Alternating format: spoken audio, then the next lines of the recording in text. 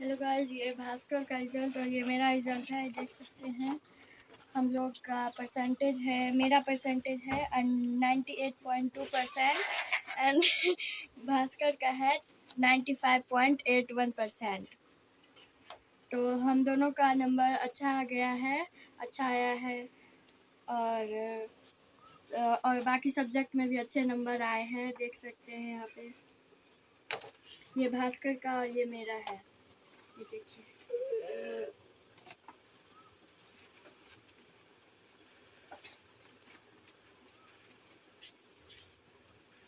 हम लोग के हाफ़ ईयरली में seventy six point nine eight percent आए थे।